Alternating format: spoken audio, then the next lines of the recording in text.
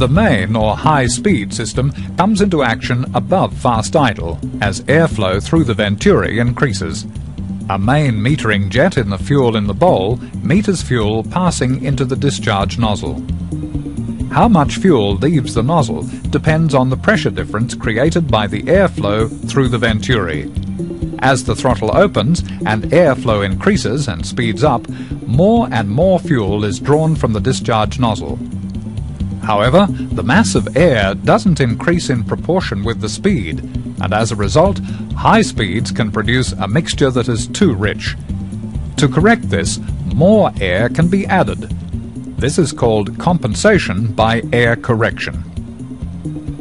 As the throttle opens and engine speed increases, the level in the jet well falls, exposing air bleed holes in the discharge tube. Air can now mix with the fuel and stop the mixture becoming too rich. As the throttle opens further, the fuel level falls too, exposing more air holes. More air bleeds in to maintain the correct mixture.